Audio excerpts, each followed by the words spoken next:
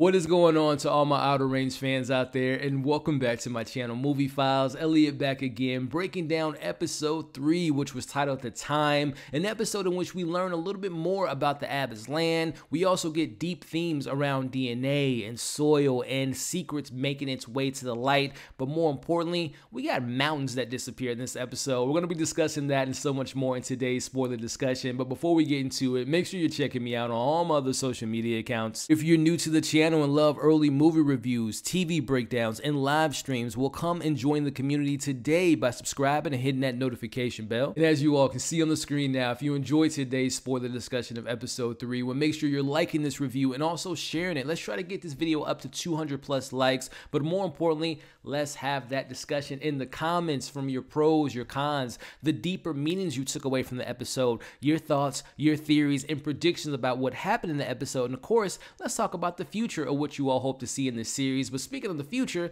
let's talk about the past. I want to thank you all for watching last week's review. But more importantly, I asked the question Do you want to have this discussion every week with this show? And you all said yes. So here we are breaking down episode three. And I will let you all know I am pre recording this. So by the time this video is out, I would have seen episode four, reviewed episode four. I haven't seen it quite yet, but I will leave that review in the description below. So once you're done watching this review of episode three, you can get my thoughts on episode four. So that's how we're going to handle these reviews moving forward. But let's go and move forward with my thoughts of this third episode, which I thought was fantastic. Full spoilers ahead as we open the episode with this monologue from Royal talking about the history of the land. There's been a lot of deaths, but there's also been a lot of reborn, and the land in the sky stays the same. So we're getting a little bit of backstory this land is very sacred, and we got a hint of that very early on. I want to say episode two, when we saw Royal take his son down to the county's office and they looked at the map, and there's a lot of history, a lot of importance, and important things that happen on this land, which we'll talk about in this review. But moving on to another reference of time, we see a Deputy Joy talking to a young lady at the convenience store, and she's talking about the future. And one of the commentators talking about the Denver Broncos, how they can predict the future and pick out their quarterbacks. There's very there's something unique going on about Wyoming and time and this void having a special meaning to this land. But it's in this moment that she gets the hint that there's someone attempting to try to rob the convenience store. And it's important to remember that in this conversation, the gentleman in the back seat talks about there's a lot of people going missing recently. There's a lot of people that, you know, he mentioned something about one of his cousins went missing for six seconds and disappeared. So my question is, how long has this been going on? Is this void? Does it move around? Has it always been on this part? I don't think so, because obviously Royal would have found this years ago, right? So how often does this void come to this land? Is it like once a year, every couple months, every 10 years? Let me know your thoughts and theories on that as we move on to Joy's competition, paying a visit to the department, and he's wondering about the whereabouts of Trevor. But also, speaking of Trevor, we get the conversation at hand between Wayne and his two boys as he seems to have a change of heart here.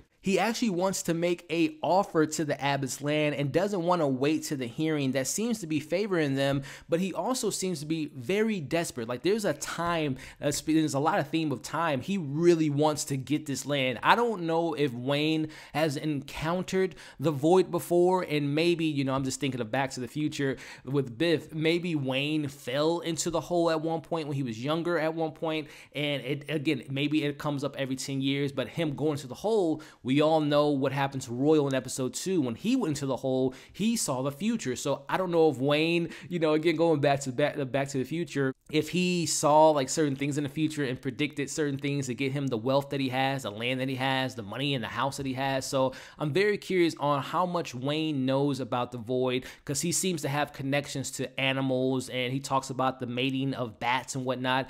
Wayne knows more than he's alluding to, but in this scene also, it's important that he mentions that their wife, you know, you sound just like my wife when he's talking to his older son, Luke. Did his wife die? Did she leave the family? Is she still around? Let me know your all's thoughts on that as we see Luke tells his younger brother he's not going to make that offer and not listen to his dad in his time. But again, let me know what you all are thinking about Wayne. Does he know more about what's going on than he appears? Let's talk about that. As we move on to going back to those opening lines about the soil, we cut to Autumn who finds and appears to find this rock that has some type of significance to her. We know from episodes one and two, she is called to the Abbott land. And I'm going to share with you all my thoughts of who I think she is. But that rock, what do you all think is the significance of that? Is that rock been there for hundreds of years and she is discovering this and this is just a relic of her just kind of putting the pieces to the puzzle because she has a conversation with Royal a little bit later in regards to you travel to the future. So she is somewhat aware of time travel being important to this land. Let's talk about that as we see her come across the same buffalo that we've seen in previous episodes, which has the arrows on its side. Now,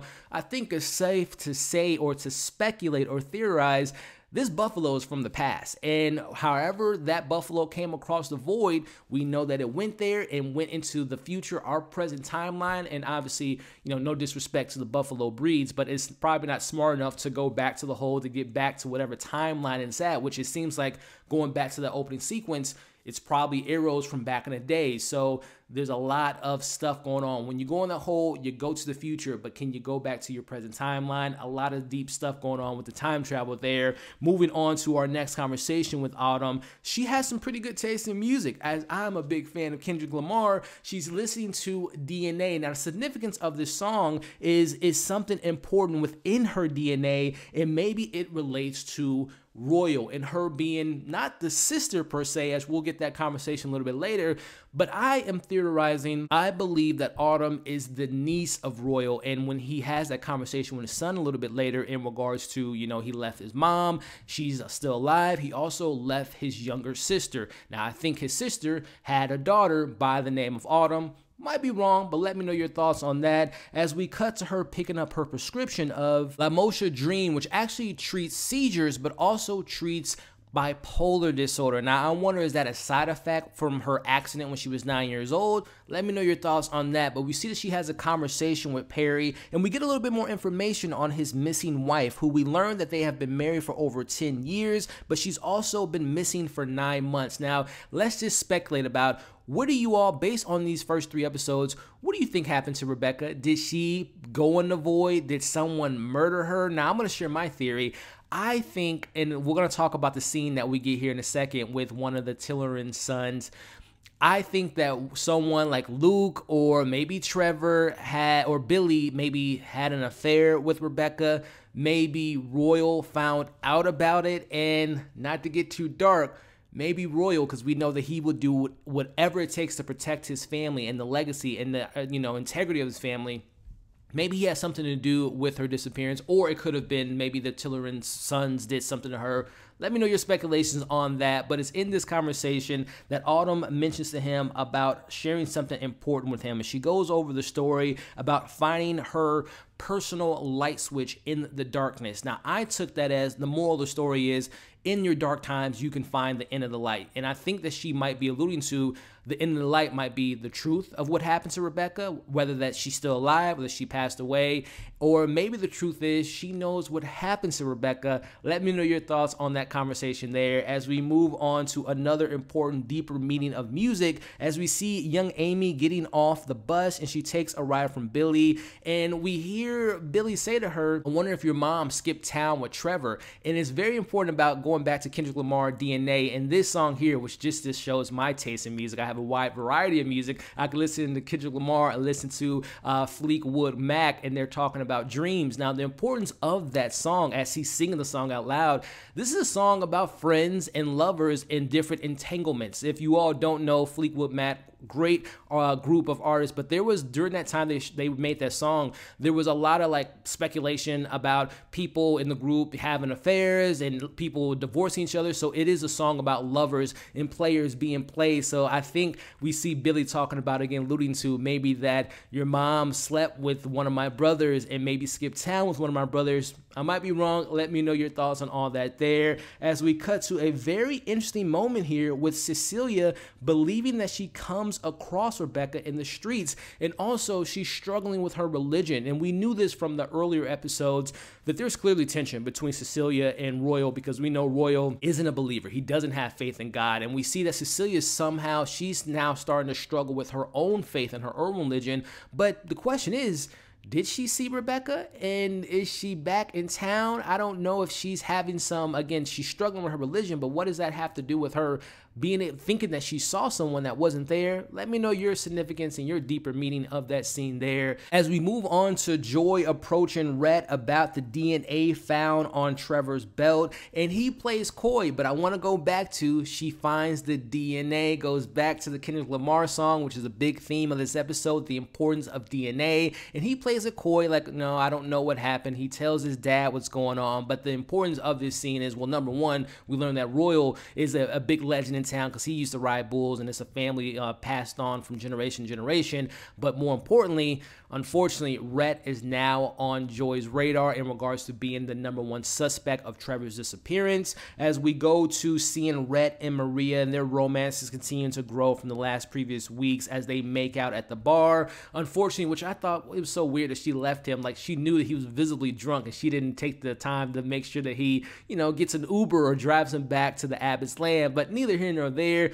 He unfortunately uh, takes it upon himself to pee in the public, and unfortunately, he pees on a police officer's car, which leads him to getting arrested, which unfortunately isn't good for him because that obviously leaves him with having a conversation with Joy. And it's within this conversation that she tells him that she's going to go ahead and question everyone that was at the bar that night of Trevor's disappearance. And this is where I think it had a little bit to do with his consciousness and him feeling bad, but he thought it was a good idea to let her know and also think it has to do with him being drunk she he lets her know that he got into a fight which we know is to be true and then she says did anyone else see this fight? And he lies and says that it was just him and trevor in the fight that night. So lies run deep in the abbott family which speaking of the abbott family this is a huge moment here as we see the speaking of the truth as royal tells his young son rhett about what actually happened to his parents. And this is where he goes into the story about him running away from his family after the death of his dad but he lied about his mom dying. And like I mentioned earlier, his mom is well, we don't know if she's still alive now, but he was she was alive when he left at a young age. But also he left his sister, and this goes back to my theory I think it's safe to assume, and uh, not safe, but I think my big theory is I think that uh, Autumn is his niece from his sister, who may or may not still be alive, and also, you know, mother may or may not be alive. But I think there's some importance of that moment there. Let me know again your speculations and your theories of the connection between those two characters as we get another moment here, as it's revealed that when we saw Royal waiting for Rhett, he took it upon himself to again, he's willing to protect his family at any cost, at any means necessary my man Roy Royal took the evidence, the belt buckle of Trevor with his son's blood on there. He takes it and throws it in the hole, which we're gonna talk about it. When you throw things in that void, they come back to the light. The truth is revealed. We'll get into that here in a second. But as we move on, we meet a new character by the name of Frank, who is somewhat of importance to this town, who probably can sway the votes, or not sway, but help Joy become the sheriff of the town like she wants to. But it's in this scene he talks about the significance of what are you going to do about all these prehistoric animals and creatures finding their way on this land, a la that buffalo, as he talks about, you know, seeing some other type of prehistoric animal. Look, if we get dinosaurs in this show, I'm going to lose my mind, but I think that there is some significance again about pure, pure historic, older uh, relics and creatures and things making its way into the void and coming into the present timeline. We're to see some crazy stuff. I'm looking forward to all that coming in the future of the show. But moving on, Royal wants to start over with Autumn as he asks that she keeps everything to herself. But he also asks, What happened to you at the age of nine? She doesn't really get into details. She just says that she had an accident. But he has another question for her.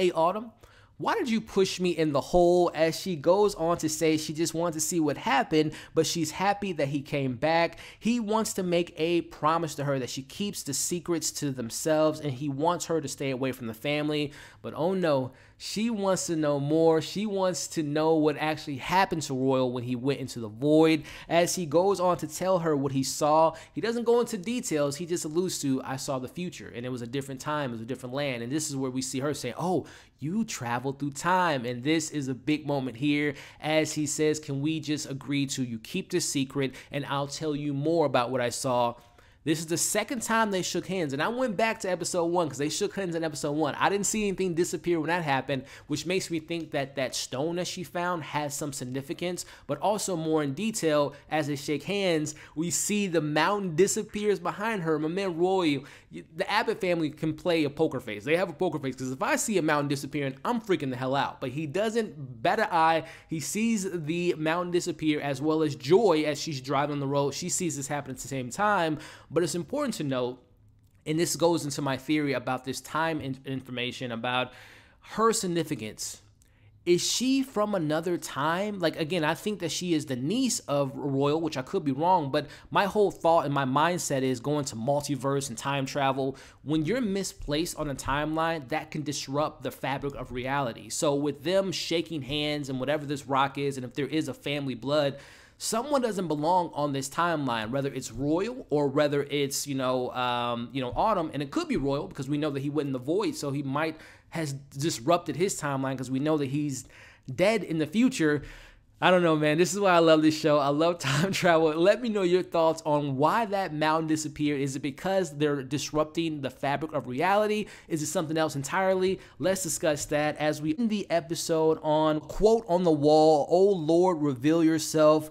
Joy comes into the department. She hears about people calling in about the missing mountains. We also see young Amy taking a walk down to those mountains as she discovers Trevor's body. She runs home, tells her family. We see Royal calls Joy and says, Hey, you know, Amy found the body of Trevor, and we end the episode. So, this goes into when you throw things in that hole, in that void, the truth comes out into the light, which makes me think what else was thrown into that void? I don't know. Uh, royal shirt with Trevor's blood on it, so that's going to pop up somewhere. Someone's going to find it, and that can get them in some serious stuff. Uh, and also some other evidence that he threw in there. And I don't know, is there another person by the name of Rebecca that was in that uh, void at some point in time? will I guess find out. So uh, and also like I mentioned earlier, I forgot to say that he also threw the belt buckle into that void. So I think all these lies will find its light and the truth will be revealed. What a fantastic episode. I again love the themes of DNA, family ties, the importance of the soil, the death and the reborn of this land, but things staying the same like the sky and the soil. So there's a lot of depth and a lot of information there. The time travel elements about why that mountain disappeared, messing, disrupting the fabric of reality. Is Autumn related to Royal? Is that his niece? Is that someone from another timeline? So much to look into. I'm about to watch episode four, but before I do that, I want to end this video by knowing your thoughts, favorite moments, least favorite moments, your deeper meanings, your predictions, and what you hope to see in the future. Which again, I'm recording this in the past. I'm about to watch the future fourth episode. So again, that episode will be in the description in this video. Thank you for watching this review. If you all can do me a favor and make sure you're liking it, sharing it, and commenting on this video, and make sure that you're subscribed and you're hitting that notification bell. Thank you again. Hope you're staying safe. As you can see on the screen now, come and join the family. Watch my review of episode four and my other content. We'll catch you all on the next breakdown.